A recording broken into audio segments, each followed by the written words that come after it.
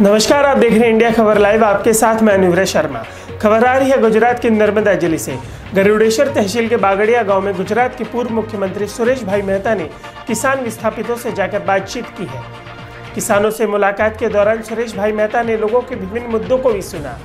पूर्व मुख्यमंत्री सुरेश भाई मेहता 21 अक्टूबर उन्नीस सौ पंचानवे से 19 सितंबर उन्नीस सौ छियानवे तक लगभग 11 महीने के लिए गुजरात राज्य के मुख्यमंत्री रहे थे।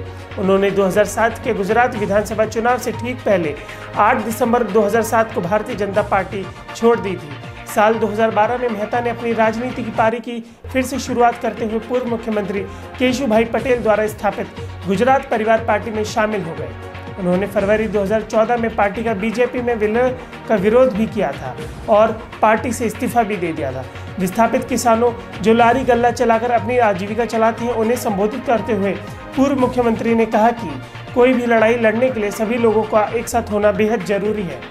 सफलता का पहला भाग एकता ही होती है। मेहता ने इस दौरान अपना पूरा समर्थन ग्रामीण आदिवासियों को भी दिया। उन्होंने सरकार को चेतावनी देते हुए कहा कि विस्थापितों की समस्याओं को जल्द से जल्द सुलझाया जाए। हमारे संवाददाता गौतम व्यास ने इस मौके पर गुजरात के भूतपूर्व मुख्यमंत्री सुरेश भाई मेहता से आमने सामने की बातचीत कर उनका पक्ष जाना। आने वाले वक्त में देखना होगा, राजनीति में फिर से सुरेश मेहता इस मुद्दे को उठाकर फ्रंट फुट पर नई पारी खेलते हैं या नहीं? इंडिया खबर लाइव के लिए गुजरात नर्मदा से गौतम व्यास की रिपोर्ट। आज हम इस जगह पर खड़े हैं जहाँ पर यहाँ के स्थानिक लोग जो है वो धंधा करके अपनी रोजगारी गुजार रहे थे। लेकिन प्रशासन तंत्र द्वारा उसको पिछले कई महीनों से यहाँ से दूर किया गया है।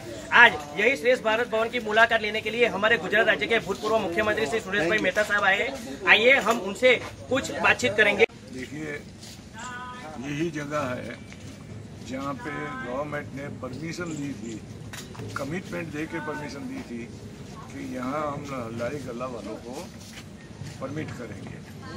और बाद में गवर्नमेंट ने यू टर्न ले लिया और लारी गले वालों को यहाँ से निकाल दिया। यहीं पे जगह थी। वहाँ ये लोग छोटे छोटे लोग अपनी आजीविका अर्न कर रहे थे और आज यही से इन लोगों को निकाल के ये जो बड़ी इमारतें खड़ी है it is at the cost of the adivasi culture which is why I have come here to correct this. Sir, Gujarat सरकार ने दावा किया था कि केवड़िया कॉलोनी में विश्व की सबसे ऊँची प्रतिमा स्टैच्यू ऑफ़ यूनिटी का निर्माण होगा तो यहाँ पर स्थानीय लोगों को रोजगारी मिलेगी। लेकिन यहाँ पर सरकार द्वारा स्थानीय लोगों की रोजगारी छीनी गई है। तो आप उसके बारे में सरकार को कुछ संदेश देना चाहते हो? उसी वक्त इन लोगों ने कहा था कि एक स्थानिक अगर विस्थापित होगा तो हम सात स्थानिक को रोजगारी देंगे। रिवर्स भी आज नहीं होता है।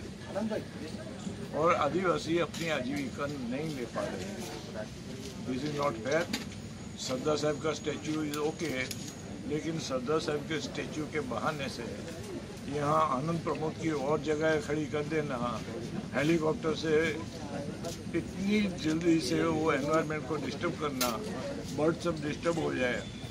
यहाँ से आदिवासी ने आज मुझे बताया कि यहाँ लोग भी सलामत नहीं है और गाय भी सलामत नहीं है तो आदिवासी भी नहीं है।